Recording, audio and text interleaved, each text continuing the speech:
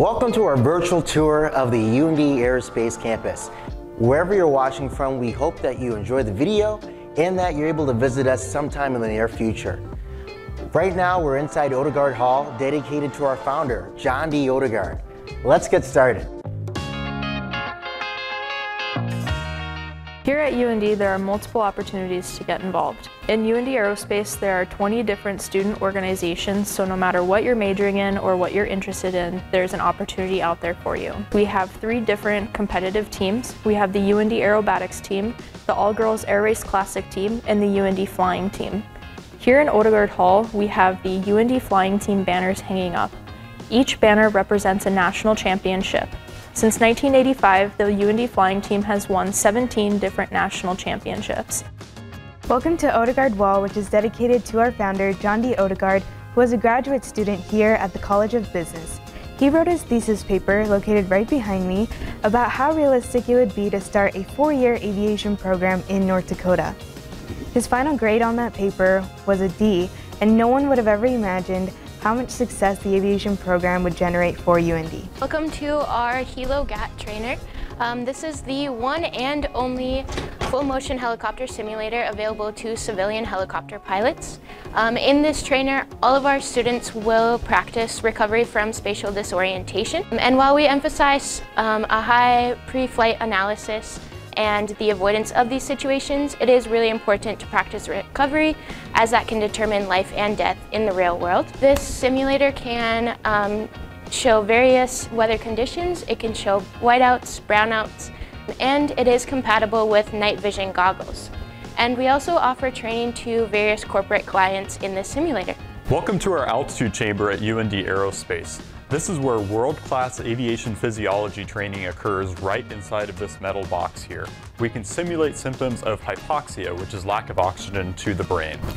Behind me is the GAT-3 spatial disorientation trainer that we use to stimulate the physiological effects of spatial disorientating situations.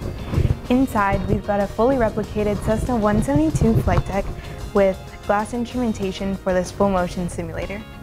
We've got a lot of different resources here for emergency-based scenario training, and this is our EVAS Emergency Vision Assurance System. So in the case of any smoke in the cabin, we are trained to deploy the EVAS system, which is going to give us um, visual reference to our instruments, as well as to don our oxygen masks as soon as possible and conduct the appropriate checklist. All right, so welcome to the VR Lab. So this is one of the new additions here to the Aerospace College within the JDO, John D. Odegard School. And so students can come in here at any time for free and practice their maneuvers inside the Piper Archer. Uh, what we have is satellite imagery of the greater Grand Forks area. So you're going to be seeing the exact same imagery uh, that you would see in real life, which is really handy for students to practice their flows, practice the checklists, and even practice maneuvers. And so what happens is they put this headset on top of them, and so it gives them a dynamic feel of a 3D environment of uh, virtual reality inside the Piper Archer. Hey everyone, welcome to the Leon Osborne Weather Center. This is home of UND Atmospheric Sciences, one of our labs here on campus. It holds 24 computers. You can see them behind me. These 24 computers run the same operating Linux system as the National Weather Service, so we can run models, we can run different systems and look at radars and satellites to really get the full experience of a actual weather forecaster. Welcome to the Aerospace Learning Center. This is a place that has multiple free resources for students to come. Whether you're a aviation student, weather student, there's a volunteer here helping you with anything that you might need.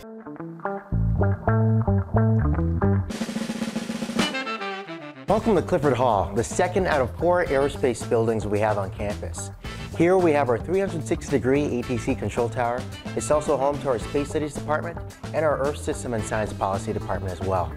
Behind me are two special prototypes that were used uh, with funding from NASA to uh, be used as spacesuits on Mars. Uh, we have a strong partnership with NASA.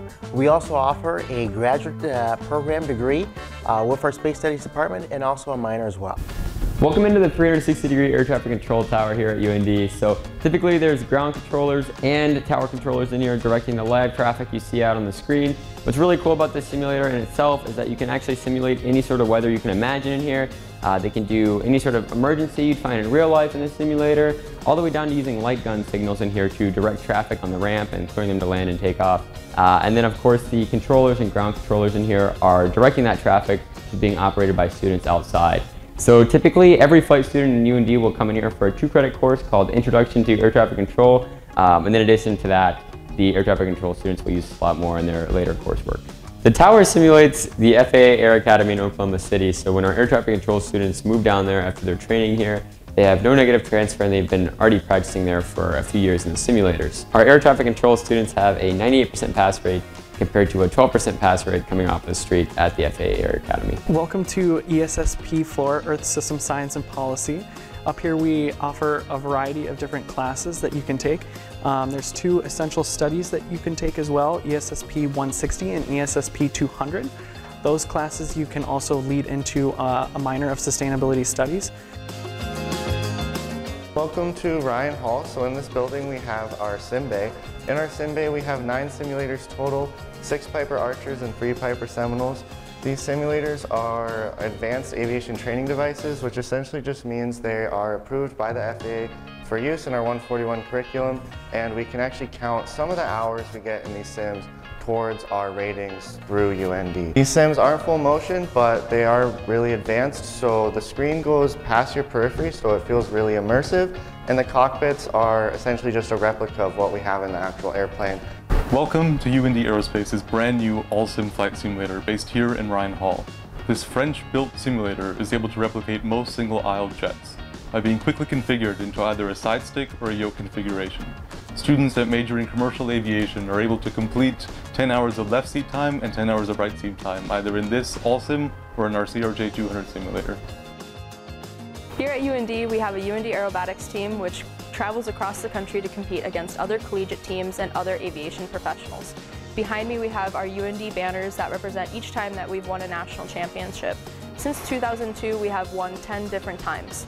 As a student, if you're interested in participating in the UND Aerobatics team, all you have to have is your private pilot's license and to complete our Introduction to Aerobatics flight course, Aviation 389. Hello everyone, welcome to the Aerospace Schools studio. This is the only active filming studio here on campus. Not only does it feature interviews, but it also is home to UND Weather Update, which is a broadcast done by students that are in the program. Students are giving presentations and briefings just like you would see on any news station with timers, cameras all around us, and IFBs to provide us the exact experience you would have on a real TV station. In addition to Ryan Hall, we also have our FAA Testing Center, which is really best beneficial for students because they could just come in here and inside Ryan and take an FAA written exam, which is actually needed for each certificate that they take. Welcome to Robin Hall, named after Cy and Betty Robin, uh, that have generously donated $20 million to the aerospace program. Uh, up here we also have study rooms with floor-to-ceiling whiteboards that students can use as quiet study spaces. Here at UND Aerospace, we have the oldest collegiate UAS program. We've been graduating students for over 10 years, and one of the shining parts of our program is the Insitu ScanEagle. Our students get six hours of real-time flying in this aircraft. We take them down to Mayville, North Dakota, where they do missions like practicing border protection and firefighting and search and rescue. The final flight course for the UAS program is an MQ-1, MQ-9 all-encompassing ground school and flight simulator. Through collaboration with the Air Force Research Laboratory, we have a decked out sim that our students spend 20 hours learning how to do real world military and civil operations in the General Atomics Predator. Hello, I'm Dr. Bob Kraus, Dean of the John D. Odegard School of Aerospace Sciences, and want to thank you for watching this video showing just some of the great things going on here at UND Aerospace. It all began in 1968 with two donated airplanes and 12 students that led to the formation of the Department of Aviation with John Odegard as the founding chair. Since that time, we have expanded upon John's dream by developing aerospace programs known around the world as the best in training, rigor, and professionalism. One of the things that I love about Grand Forks is its weather, or more understandably, the variety of weather that we get. To some, this may sound a little strange, but our students gain experience flying in all four seasons and leave here prepared for just about anything. The university's theme is Leaders in Action, and our students and alumni continue to exemplify that. We have graduated more than 14,000 students that have gone on to professional aviation careers, And our programs continue to educate, train, and inspire students to lifelong careers in aerospace. If you've never been to Grand Forks or North Dakota, we invite you to visit us in person and to experience our operations in action and to see the opportunities that attending UND will provide. We look forward to meeting you and stand ready to answer your questions.